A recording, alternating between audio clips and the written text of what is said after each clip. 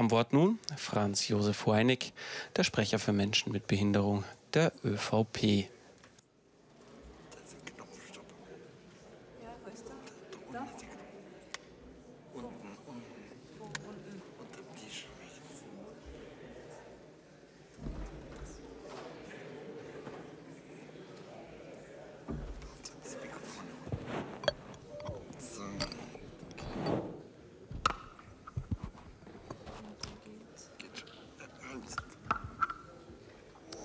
Frau Präsident, Herr Minister Hohes Haus, man liest und hört immer wieder von Menschen, die den Rollstuhl gefesselt sind. Ich bin es nicht. Und wenn, müsste man wohl die Polizei holen. Ähm, man liest auch oft von taubstummen Menschen. Und äh, wenn sie Helene Jammers, die gehörlos ist, sie spricht in ihrer Sprache die Gebärdensprache. Also ähm, von stumm kann keine Rede sein. Und es gibt sehr viele Vorteile und Bilder, die sich manifestiert haben wo es wichtig ist, ein Bewusstsein zu schaffen. Und ich begrüße die Initiative des Bundeskanzleramtes, die Seite barrierefrei Medien einzurichten. Das ist wirklich eine sehr gute Seite zum Wording für Journalistinnen, aber auch mit Best Practice Beispielen. Oder auch zum Beispiel, wie man richtig fotografiert, auf gleicher Augenhöhe bleibt. Ähm, ich hoffe, dass diese Seite oft genutzt wird. Äh, meine Damen und Herren, was mir wichtig ist, ist ein Thema, nämlich dass der ORF, der auch einen öffentlich-rechtlichen Auftrag hat, auch hier bewusst Maßnahmen setzt.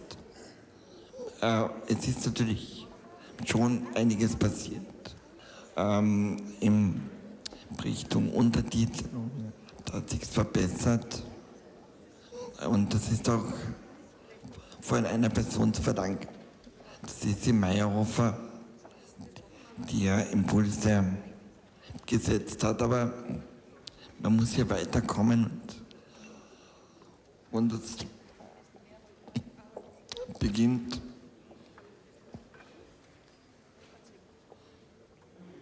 beginnt damit, dass ein Selbstvertreter im ORF auch wirklich selbstbehindert sein muss. Also der derzeitige Behindertenvertreter im ORF-Publikumsrat ist es nicht und er wurde vom Bundeskanzler bestellt und, und das, äh, deshalb unterstützen wir auch die, den Antrag und den Initiativantrag von Helene Jammer, dass, dass auch der nächste Selbstvertreter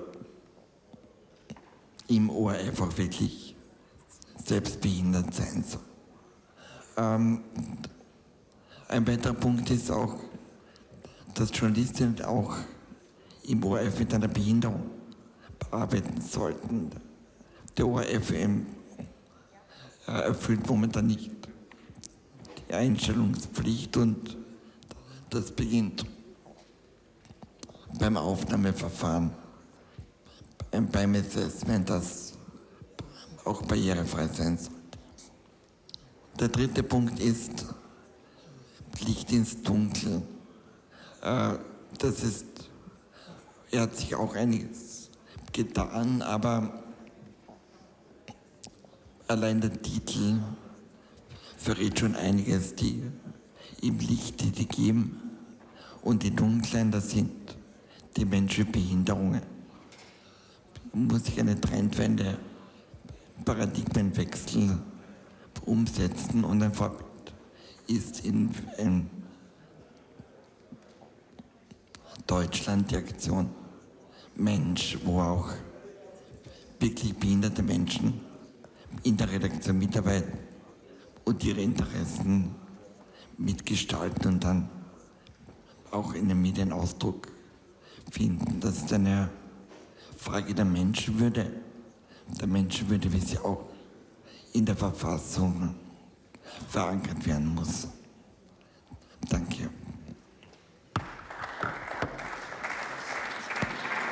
Er begrüße die Initiative, eine barrierefreie Internetseite einzurichten, betont Franz Josef Hoeinig, der Sprecher für Menschen mit Behinderung der ÖVP.